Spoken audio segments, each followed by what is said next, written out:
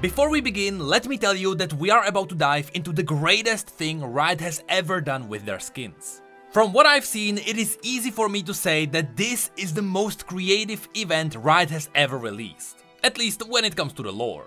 And the crazy thing is that we are only in the first half. I can't imagine what's coming up next. But yeah, yesterday Riot released an animated trailer. And many rightfully assumed that this is the teaser for Yone. And I can only imagine how much people would have freaked out if nothing was leaked. But the truth is, we knew that Yone was coming. However, that doesn't take away from the awesomeness of this trailer. Not only are the animations stunning, but let me tell you, you won't believe how much detail there is in the story of this trailer. Because believe it or not, even though this event is focused on skins, it is fully canon. And that's the brilliance of this event. So, without further ado, let me explain every little detail in this animated trailer. Before we dive into the trailer itself, I should explain why all the Spirit Blossom skins are canon. You see, even though the skins themselves are not real in the universe of League of Legends, what the skins represent is real. For example, Teemo is still just a Yordle. However, Spirit Blossom Teemo represents a legend that people in Ionia believe in. And that's what these skins are. They are legends and stories that are real in the universe. This will make more sense as I individually point them out as we go through the trailer. But just keep in mind that the skins themselves are not canon, Vayne is still a demon hunter in Ionia, but the Spirit Blossom Vayne represents the demon hunter from the legend where the hunter saved the princess. Now, at the beginning of the animated trailer, we have this person introduced. And of course, everyone assumed that this is Yone. However, despite him having the same clothes as Spirit Blossom Yone, having the same family ornaments on his clothes, his earrings match perfectly, and even the horns, which will appear later. This is not Yone. And that's because the Spirit Blossom Yone is not Yone, therefore this guy is not Yone either. This person is the elder brother from the legend of the two brothers. And because many people are coming to this video having no idea what I'm even talking about, let me tell you the legend of the two brothers that appeared in the Perennial story, where an older man explains this story to the main character. Ionians believe in different gods of the underworld, with the main two gods being the Gatekeeper and the Collector. When you die, the Collector wants to collect your soul for himself, but the Gatekeeper is trying to lead you to the peaceful afterlife. So now let me quote the legend. One day, the Gatekeeper and the Collector crossed paths. The Collector saw how many spirits the Gatekeeper had led through the spirit realm to peace and happiness, and he grew jealous of her. And so he devised a plan. He took two of his strongest, loudest bells and melted them down. Then, over 12 nights, he hammered them into two blades. Into the first, he poured some of his jealousy, into the second, he poured some of his obsession. Then, when spring began, he let the spirits of those two swords bloom into the physical realm, and the swords grew from the ground like saplings. Saplings? That's what the two brothers thought the blades were when they stumbled across them in the forest. The brothers were the best of friends, perfectly loyal to one another and understanding of their roles in the world. The elder would one day inherit their father's own famed sword and lands, while the younger would inherit their father's ship. Both believed they would be great heroes, one at home and one abroad. One spring, they found the two sapling swords growing in the forest. Neither of the brothers had ever seen a tree grow so shiny or so sharp. Together, they chopped them down, each shouldering one to bring back to their home. Little did they know, this would be the last thing they would ever do together as brothers, while they remained alive. For as they walked home, the strange sap from the swords began to flow onto their necks, filling them with horrible thoughts and feelings, those of the Collector. Though they did not become enemies that day, they would eventually bring those blades together, a clinging of bells that would sound throughout the physical and spirit realms, as nothing had before. And from this point on, the animated trailer has about a million references to this legend. So let's get into it.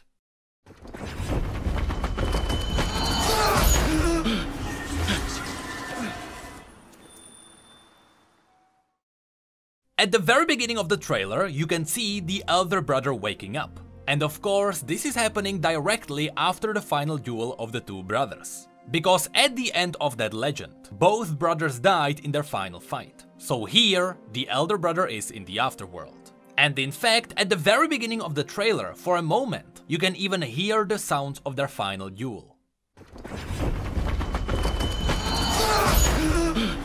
At first, the elder brother panics because he can't find his swords. But then, as he realized where he is, he calmed down. And that's when he saw the gatekeeper.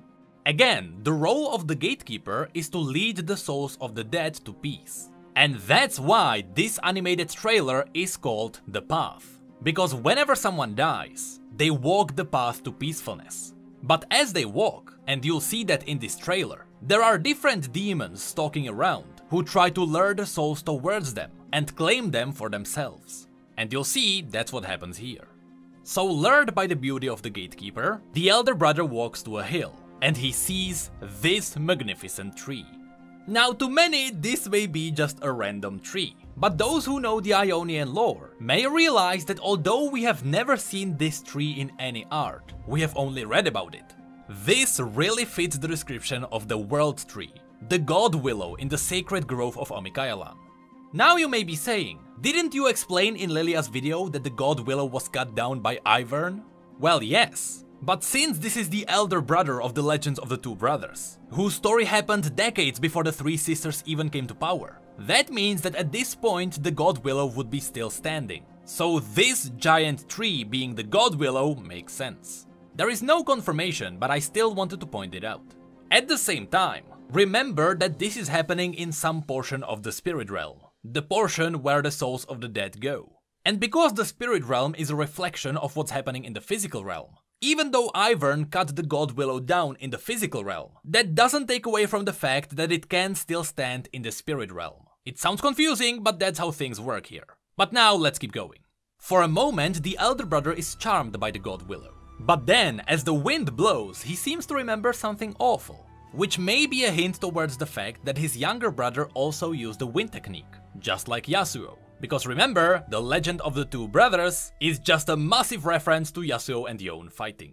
So then, as the elder brother follows the gatekeeper, we get to all the different sections of the path. First, we see Cassiopeia. Now, unfortunately, because Spirit Blossom Cassiopeia is not on PBE yet, we don't even have the description of the legend which she represents. But just from what I'm seeing here, I believe that all the stone statues around are not statues. Those are the souls of the dead who actually got turned to stone when they decided to stray from the path and walk towards Cassiopeia. As the elder brother walks past her, you can even see that Cassiopeia opens her eyes as she is a little bit mad that he didn't take the bait. Then we see the Forest of Souls of the Taker. Of course, the Taker is represented by Kindred, and that's because the Taker is literally Kindred. Because Kindred are the ultimate Grim Reaper, and everyone in the League of Legends universe has to meet Kindred at some point, even Aurelion Sol himself. That means that different regions believe in different variations of Kindred. The Freljordians and the Noxians only believe in the wolf. The Massians believe in the wolf and the lamb. They essentially believe in the Kindred we have in the game. But Ionians believe in this other Spirit Blossomy version of Kindred. And that's what we see here. You can also see the souls of the dead becoming one with the trees. And I do believe that this is a reference to the spirit blossoms, which are special blossoms which the dead can occupy, which then, when it blooms, it allows them to communicate with the living in the physical realm. And then we have this beautiful shot, which everyone thought, yeah, it looks cool, but nobody understands what's actually happening here. And that's because even though this looks like a woman lying there on the stone, the entire mountainside is actually a faun with the rocky circles which we have previously seen in Ionia representing antlers. Because yes, this is the legend which Lilia represents. And here I want to directly quote the legend. A shy faun spirit once served as a guardian of a sacred Ionian forest, until her grove was destroyed and cast into flame. Consumed by loss, she now slumbers in the spirit realm, reliving the destruction in an unending nightmare, unaware of the timid hope still waiting to bloom. So yes, this is the fawn spirit sleeping, locked in an unending nightmare. Then, as the elder brother gets closer to the god willow, we see little statues representing different little tricksters, with a couple of them looking like Spirit Blossom Teemo. And that's because Spirit Blossom Teemo represents his own little legend in Ionia. Here is how that one goes.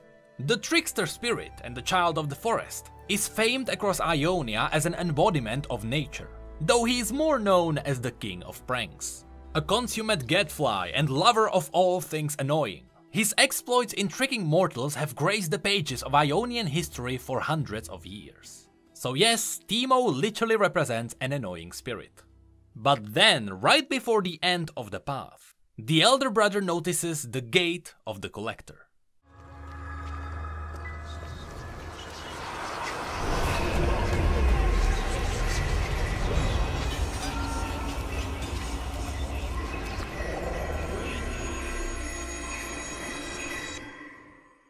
And unfortunately, he takes the bait. And here is where I should note the description of this video. It says, Every myth carries a seed of truth. A slain swordsman must decide if he will make peace with his past, or be consumed by it. Which means that the elder brother was not the only swordsman to take this path. He wasn't the only one who got lured in by the collector, who probably gave him the false promise of dealing with his past.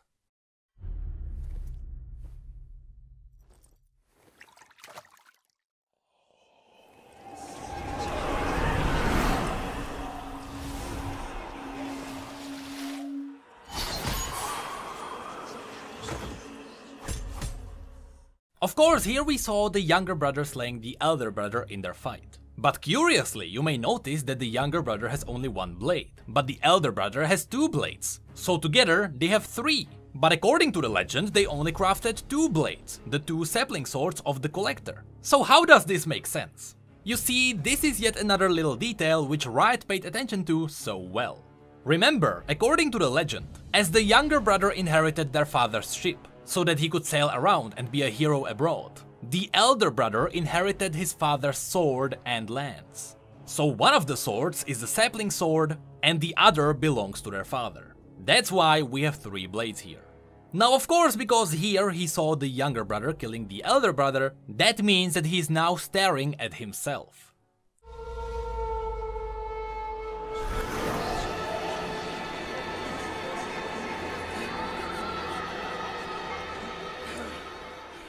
And then the trailer reveals all the other dead around him. And this could have two different meanings. Either here it is a vision, so he sees all the souls that died because of his conflict with his brother.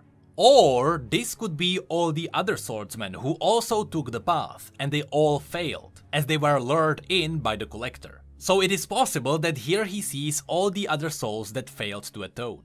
Later I also realized that this might be the reason why the Collector turned the two brothers against each other. Remember, the Collector was jealous of the Gatekeeper, who was leading all those souls to peace. The Collector also wanted to take care of some of those souls, and so he caused a war, which made a lot of swordsmen fight each other, and that's how he lured them here.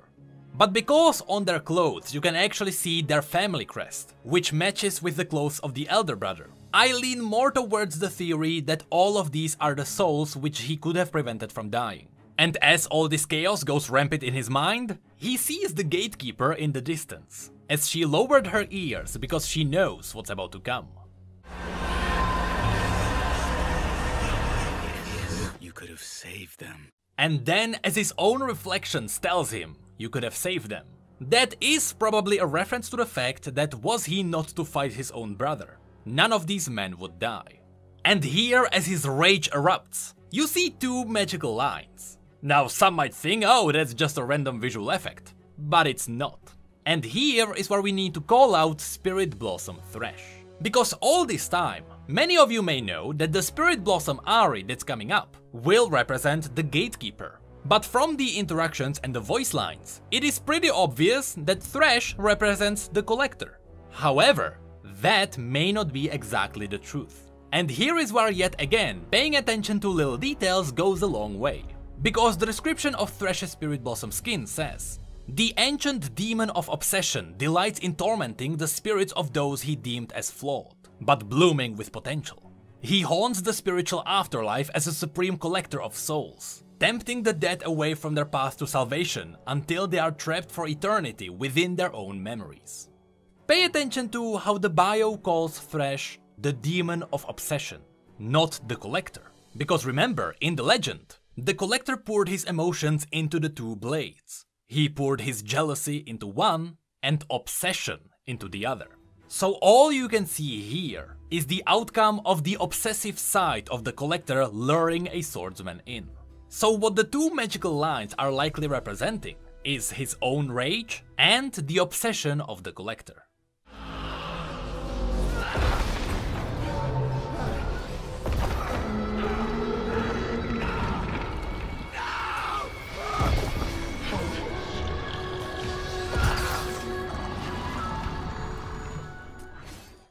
And as he gives in to his rage. Although I would love it if this was the Collector himself. Because again, remember, Spirit Blossom Thresh is not the Collector. That's the Demon of Obsession, which is only one half of the Collector.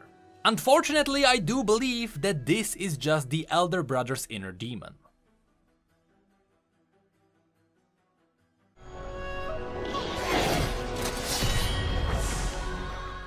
And as the two fight, when they clash, the fog disappears, and we can see even more swordsmen perishing. This very shot makes me think that these people are not the people which the elder brother could have saved. I wondered why would Riot include this shot. Usually they don't do things just because they look cool, they give purpose to them. And so I do believe that the purpose of this shot is to show us all the other swordsmen who also took the bait. And yet none of them succeeded in beating their own inner demon.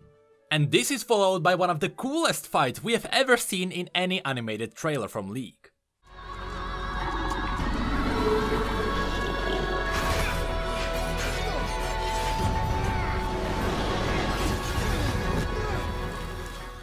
Here, quickly notice how the demon broke one of his swords, and then as he went in for the kill, we can finally see the horns which I mentioned at the very beginning.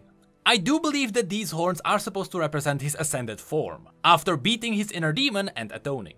And so, because the demon broke one of his swords, he disarmed the demon, and he used his own blade against him.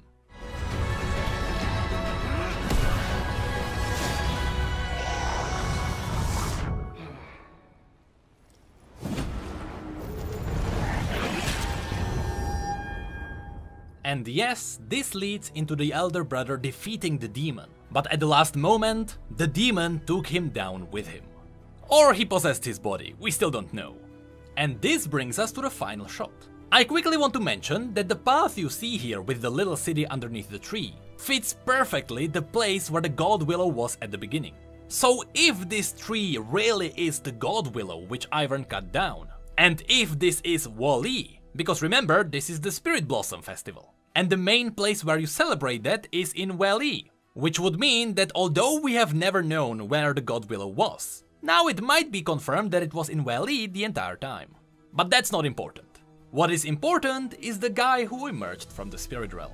Now here I need to note that it was confirmed that we should be getting Yone as a champion. Not the combination of all the swordsmen who beat their inner demons, which would make sense. Because remember, the entire legend which we have just seen is not about Yone.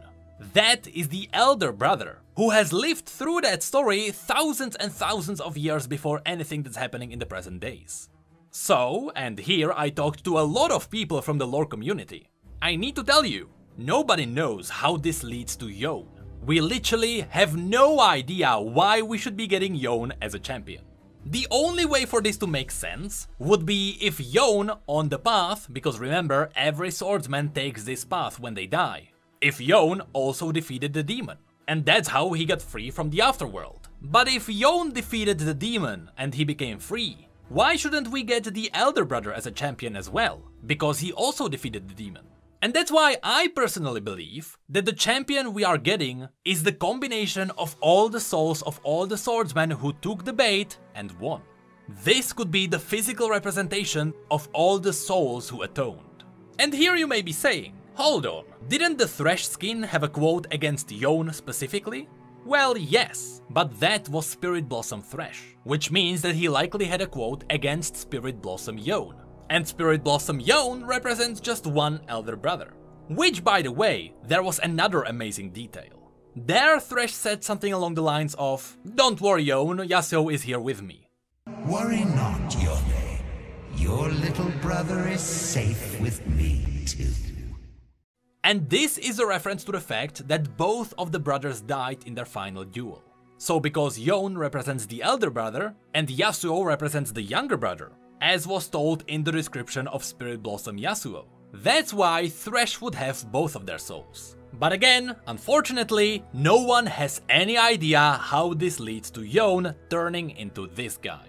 Either the Collector himself or the Demon of Obsession somehow took over Yone's body.